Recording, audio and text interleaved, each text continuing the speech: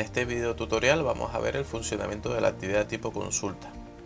Para ello vamos a un aula donde seamos docentes, activar edición arriba a la derecha y en cualquiera de los temas añadir, añadir una actividad o un recurso. Aquí tenemos la actividad tipo consulta. Si pulsamos previamente en el icono de la I de información, pues tenemos una descripción sobre el uso de la misma, con algunos ejemplos. Una encuesta rápida que estimula a los estudiantes mientras estamos con, trabajando un tema, o una pregunta que podemos tener preparada para un momento dado de la exposición magistral. Les digo que entren en el aula y habilito esa, consulta para que la respondan y ver si, están entendiendo el concepto. O para la toma de decisiones, que va a ser el ejemplo que, que veamos. Vuelvo atrás y consulta. Bien, la pantalla de la interfaz es la habitual, nos pide un título y el ejemplo que vamos a utilizar es que los estudiantes tengan que indicar en qué grupo de práctica se quieren apuntar. vamos a indicar, dije, práctica. Podemos utilizar el campo de descripción si tenemos que aportar más, más detalles. Y con este check, pues esta descripción se mostraría en la pantalla principal de este aula virtual, justo debajo del título de la consulta, o lo podemos desmarcar. Independientemente de ello, esta descripción se verá al acceder a la consulta. Esta opción de aquí simplemente permite que eh, los estudiantes las opciones las vean visualmente de forma horizontal o de forma vertical. Y ya pasamos a la configuración en sí misma de, de esas preguntas. Por un lado, vamos a permitir que los estudiantes puedan cambiar sus respuestas siempre y cuando esté todavía disponible la consulta. ¿Sí o no? Podemos indicar que no, que sí, como lo deseemos. ¿Vamos a permitir que los estudiantes puedan elegir más de una opción entre las disponibles? Pues esto ya dependerá también del caso. Si se trata de un grupo de prácticas como el de nuestro ejemplo, pues vamos a dejar que no, no tiene sentido que se apunten más de uno. Pero si a lo mejor les estoy preguntando que elijan entre cuatro posibles fechas aquellas que les viene bien para hacer un examen parcial, pues ahí seguramente sí tenga sentido para que ellos puedan marcar pues que a lo mejor les vienen bien tres de las cuatro fechas, les es indiferente varias de las fechas que les he propuesto. Pues entonces en ese caso que puedan marcar aquellas que les vendría bien. Y a continuación podemos también, si queremos, limitar el número de respuestas a cada una de las opciones. En mi caso tiene sentido dado que las prácticas se van a desarrollar en un laboratorio y ese laboratorio tiene un número de puestos limitado. Por tanto, voy a decir que sí y al, hacer, al indicar que sí, vamos a ver que debajo de cada una de las opciones que voy a ofrecer va a aparecer un límite para cada una de ellas. Por defecto el sistema nos ofrece 5 opciones. Se podemos usar 2, 3, 4 y si por ejemplo no uso la quinta la dejo vacía y el sistema la ignora. Si necesitásemos más de 5 opciones, pues pulsaríamos este botón para ir añadiendo campos a este formulario. Vamos a empezar a cumplimentar las opciones disponibles. Una va a ser pues, los lunes de 11 a 12 de la mañana y tenemos 25 puestos en ese aula.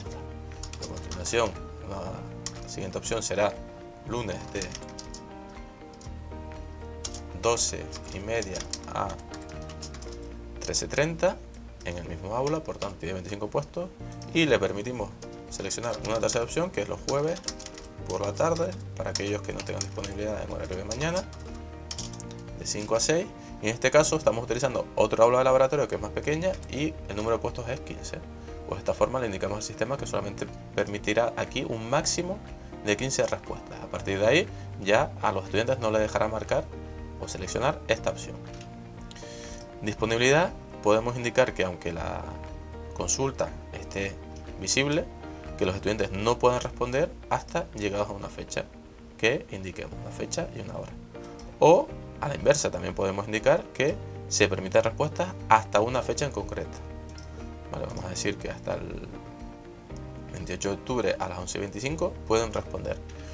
Esto puede ser interesante que le permitamos, indiquemos una fecha límite y que mantengamos la, encuesta, la consulta visible. ¿Por qué? Porque de esta forma los estudiantes pueden acceder aunque ya no puedan eh, elegir el grupo, puedan acceder y ver qué grupo habían marcado, porque muchas veces pasará que nos pregunten mm, al profesor profesora responsable en qué grupo se habían apuntado porque no, no lo recuerdan. Pues de esta forma se pueden seguir apuntando y mantenemos la consulta abierta durante todo el cuatrimestre, no hay problema, para que los estudiantes puedan ver qué opción marcar. A continuación, resultados nos permite configurar la visibilidad, la información que vamos a dar sobre las respuestas y eh, las opciones. Por un lado, no publicar resultados, con lo cual el estudiante responde a ciegas, o tenemos varias opciones mostrando los resultados.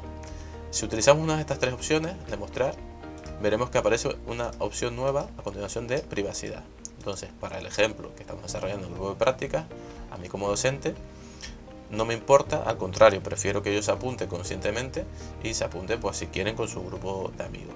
Las opciones serían, muestra los resultados de, las personas que están en los grupos una vez respondan, esta información solo se va a mostrar una vez se cierre la consulta o bien, que sería el caso que estamos desarrollando, pues que puedan ver la información siempre, pues elijo esta opción.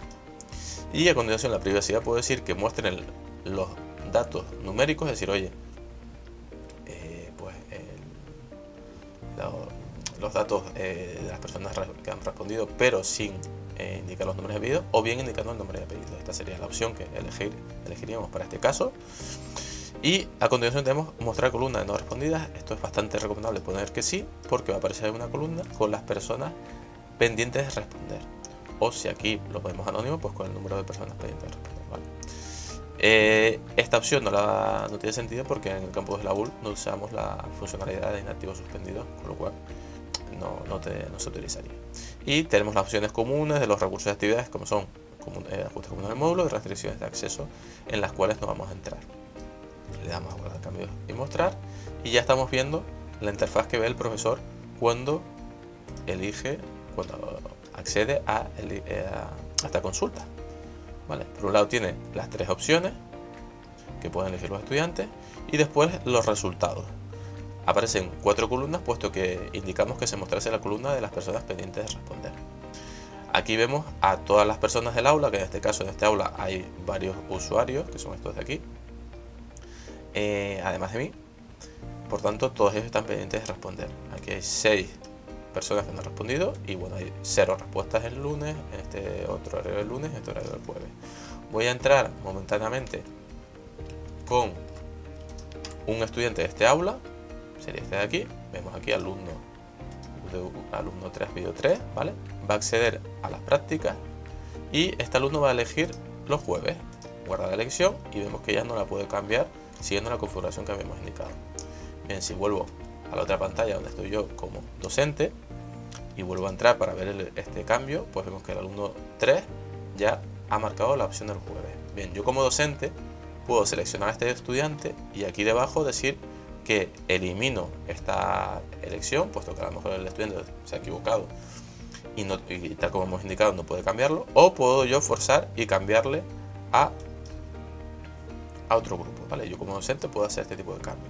Además tengo aquí este enlace, ver una respuesta o verse respuesta si nadie me ha respondido, donde es interesante que sepan que podemos descargar esta información en formato Excel de OpenOffice o en texto plano, por si necesitamos esta información pues para trabajarla en un documento aparte.